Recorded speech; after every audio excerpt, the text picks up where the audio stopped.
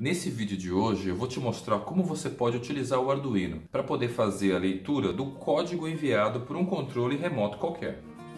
E como você pode usar ele para poder fazer o acionamento de LEDs, por exemplo. No nosso projeto, a gente utilizou o controle remoto para ligar e desligar cada uma das lâmpadas dos cômodos da nossa maquete. A gente programou o Arduino para poder acender um LED de cada vez, mas a gente também pode ligar todos juntos e desligar todos juntos. E mais detalhes sobre os esquetes que a gente utilizou nessa atividade você encontra na descrição desse vídeo.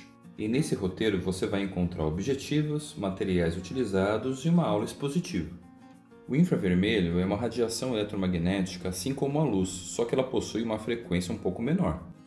O próprio corpo humano também emite a radiação infravermelha, então ela não oferece risco para a saúde. Os controles remotos fazem uso do infravermelho para fazer a comunicação com os dispositivos, e aqui você encontra três modelos de receptores de infravermelho.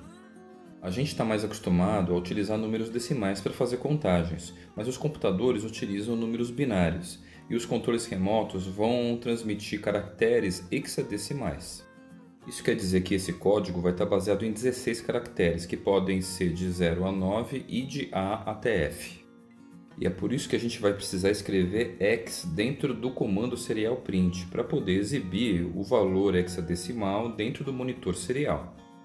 Para poder utilizar esse código dentro de um comando lógico, ele deve ser precedido pelo 0x. Você vai precisar baixar e incluir a biblioteca IR Remote, que está disponibilizada nesse link. E aqui você pode ver que a ligação desse receptor é muito simples. O primeiro pino vai ser ligado na porta digital 11 o segundo no ground e o terceiro em 5 volts. No sketch a gente inclui a biblioteca e cria uma variável chamada receptor. Depois é só criar um objeto controle e aplicar os métodos da biblioteca. No Void Setup a gente ativa a comunicação com a porta serial e com o receptor.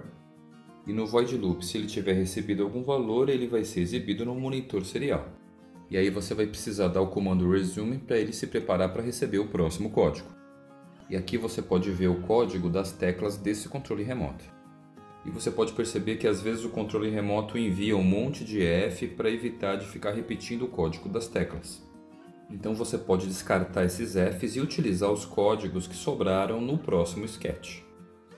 E nesse novo programa, a proposta é utilizar esses códigos para poder controlar o acendimento de um LED.